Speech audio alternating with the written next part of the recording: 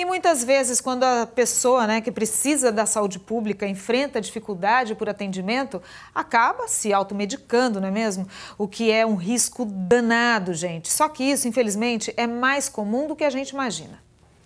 Um remedinho aqui, outro ali, com fácil acesso a alguns medicamentos, tem se tornado cada vez mais comum ver pessoas que se automedicam. Relaxante muscular, é, soros fisiológicos comuns para o nariz, essas coisas assim. A sacolinha tá cheia aqui, ó. Hábito que foi alvo de uma pesquisa do Conselho Federal de Farmácia que revelou que 77% dos brasileiros se automedicam e quase a metade, 47%, fazem isso pelo menos uma vez no mês e 25% afirmaram tomar algum medicamento todos os dias. A Elaine é exemplo disso. Aonde vai, carrega uma bolsinha cheinha deles. Ela tem remédio para tudo. Os medicamentos são para problemas gastro, né?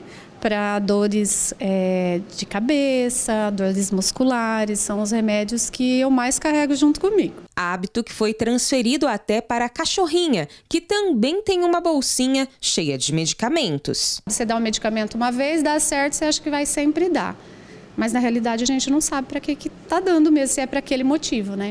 Mas, apesar de parecer inofensiva, a automedicação pode trazer prejuízos à saúde. Segundo esta especialista, o remédio pode esconder algo mais grave. Porque você não conhece os efeitos colaterais dos medicamentos, você não sabe a interação que pode ter entre um e outro medicamento. A pesquisa ainda mostrou que 57% dos entrevistados, mesmo passando no médico, costumam alterar a receita, utilizando uma dose maior ou menor do remédio. Rosana ainda alerta que misturar medicamentos também pode ser perigoso e que o paciente sempre deve seguir a orientação de um profissional. Pessoas que tomem calmante, por exemplo, se elas tomarem bebida alcoólica, elas correm o risco de entrar em coma, porque é uma interação de potencialização é bastante grave. E várias outras interações que podem acontecer